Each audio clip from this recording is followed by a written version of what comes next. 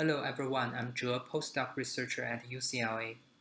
Today I'd like to present our recent work as a live demonstration entitled Real-Time Trace Extraction from Large Field of View Miniscope. This work is a collaboration across Computer Science Department, Department of Psychology, and Department of Neurology at UCLA. First, I'd like to present some background for the demonstration. Miniscopes are a type of miniaturized calcium imaging device that can be implanted at a certain brain region of a mouse or a rat. It can image cell activity from a large population of neurons while the animal is performing different kinds of behavioral tasks. The most recent version of the miniscope is called the LFOV miniscope, which has an enlarged field of view. It is designed for large rodents and non-human primates and can monitor largely increase the number of neurons compared to previous generations. This video demo shows a rat carrying an LFOV miniscope in the live environment. In real experiments, we connected the LFOV miniscope with a data acquisition board called DAQ using a 1.5 meter flexible cable for the data transmission purpose. The video on the right displays the recorded calcium images. It captures images at 1296 by 972 spatial resolution and 22.8 frame per second speed. According to offline analysis, hundreds or even more cells can be detected from a 6-minute recording session. Conventional calcium image analysis are often performed offline. In that case, calcium image videos are first stored on a disk and then processed by a general purpose CPU or GPU. In this demonstration, we aim at realizing real-time calcium image processing and the trace extraction on specialized programmable hardware, targeting short deterministic latency at spike timing precision at 1 millisecond. We believe that the real-time calcium image processing can provide closed-loop feedback capability and offer neuroscientists new ways for carrying out neuroscientific experiments for the basic brain research. Our proposed real-time calcium image processing pipeline consists of three steps. The first two steps are the motion correction and the image enhancement. The motion correction is a critical pre-processing step in removing motion artifacts caused by the movement of the brain tissue during the recording. The image enhancement improved the signal-to-noise ratio of the traces by removing a bulk of the calcium image background. The third step is the trace extraction, which calculates the calcium traces from pre-stored binary cell contours. Our proposed calcium image processing pipeline applies the frame-based stream processing, and it helps reduce both the latency and the memory access. We designed dedicated FPGA accelerators for these three processing steps. This figure shows the FPGA-based calcium image processing system. Customized accelerators for the motion correction, the image enhancement, and the trace extraction are implemented on the FPGA fabric, whereas the embedded ARM processor takes the responsibility in sending commands and governing the data transmission. On top of the FPGA, we built an interface PCB board that connects both the DAQ and the host computer. The DAQ transfers the calcium image data from the LFOV miniscope to the FPGA over the interface PCB. And the interface PCB sends the motion-corrected calcium image video and extracted cell traces to the host computer over the Ethernet. As the time timing diagram shows, a large portion of the motion correction and enhancement operations can overlap with the image readout. In this way, it can largely reduce the computation latency. We also built an on-chip BRAM buffer for storing the enhanced image. It helps eliminate off-chip DRAM access and improve the energy efficiency. To further reduce the latency of the trace extraction, we proposed three optimization methods, namely the region segmentation, the fast forward, and the double buffering. The region segmentation sets constraints on cell contour locations for each round of the pixel scan, and it helps reduce the processing time. The fast forward shortens the scan process by skipping over background pixels. The double buffering saves the computation time by overlapping the load and store operations with the trace extraction.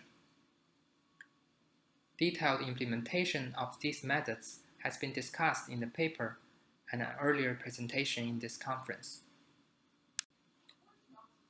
We implemented our FPGA hardware design based on the Xilinx Ultra 96 platform. The implantable miniscope connects with the DAQ over a coax cable. The miniscope clock, synchronization signal, and 8-bit data signals are routed from the DAQ to the interface PCB through fly jumper wires. Our FPGA implementation consumes the majority of the on-chip BRAM resource, while 30 to 60% computation resources still remain available. We evaluated the latency performance under the proposed optimizations. By combining all of the optimizations, the trace extraction latency can be reduced to 589 microseconds, whereas the increased FPGA resource usage is within 2%. This photo shows the hardware setup for the demonstration. We developed a graphical user interface on the host computer to display and record the motion-corrected video and the extracted calcium traces in real time. We built a virtual image sensor on the FPGA that can replay 1000 frames of calcium images at exactly the same timing as the LFOV miniscope sensor for the debugging purpose. In the following slides, I'll present our recorded demonstrations based on the virtual image sensor. I'm going to present four demonstration cases. First, Let's look at the replay of 1000 frames of raw calcium images. For the ease of the FPGA implementation, we cropped the calcium image into 512 by 512 resolution.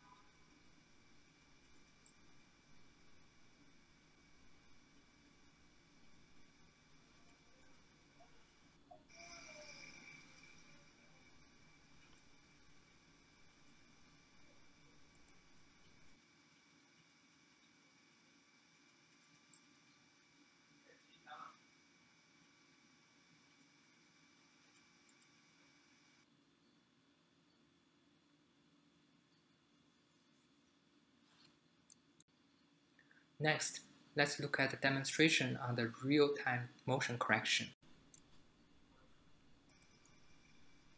As the motion correction aligns each frame of image against the template, the user needs to first define a 128 by 128 sub-image region to calculate the template.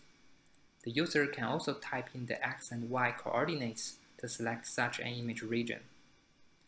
Then the program can calculate the template and start motion correction.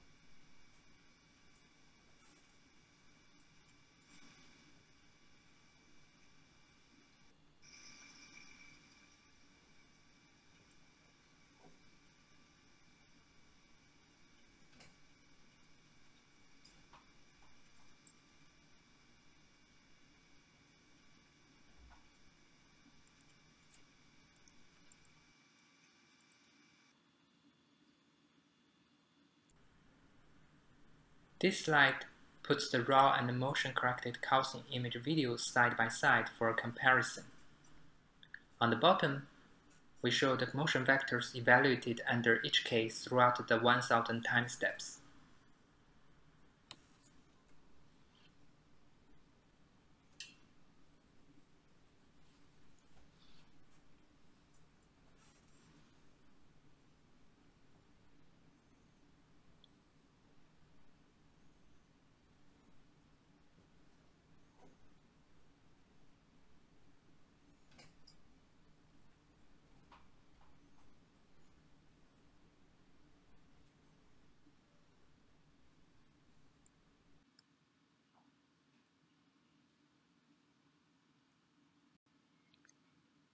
In the third case, I'd like to show the demonstration on the contour-based trace extraction.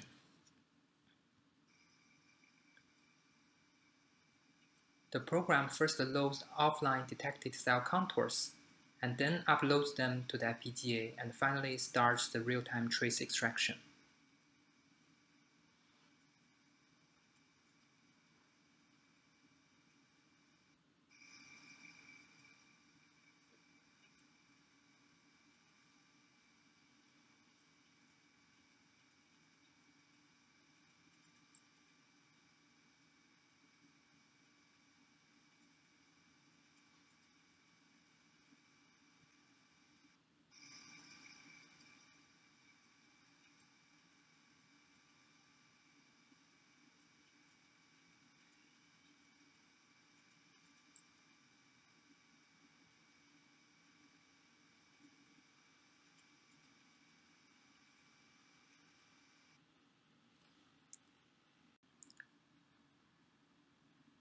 In order to demonstrate that our real-time trace extraction can support a maximum of 1024 cells, in the last case we show that trace extraction for selectable group of cells.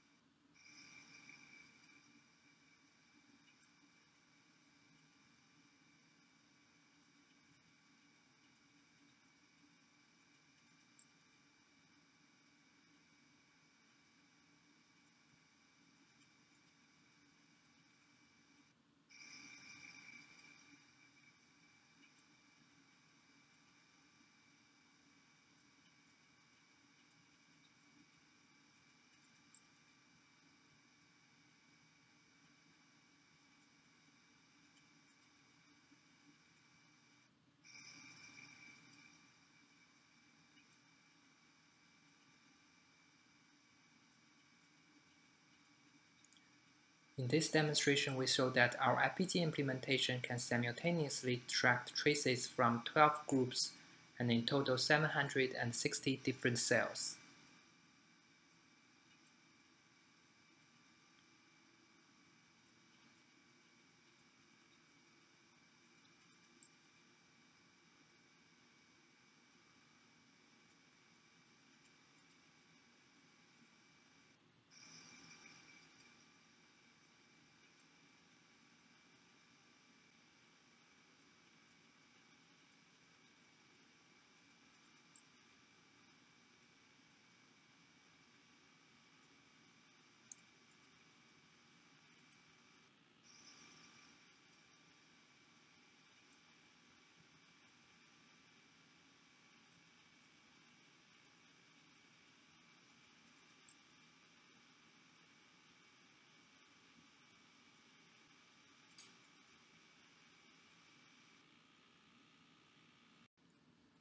In summary, in this presentation, we introduce our proposed FPGA-based real-time calcium image processing and trace extraction hardware system design and implementation.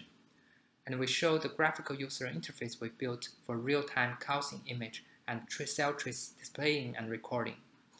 Based on this developed hardware and software, we demonstrated real-time calcium image motion correction and trace extraction for the LFOV miniscope. We believe our work can enable novel closed-loop feedback neuroscientific experiments for the brain research in the future. With that, it ends our presentation. Thank you very much for your interest and attention.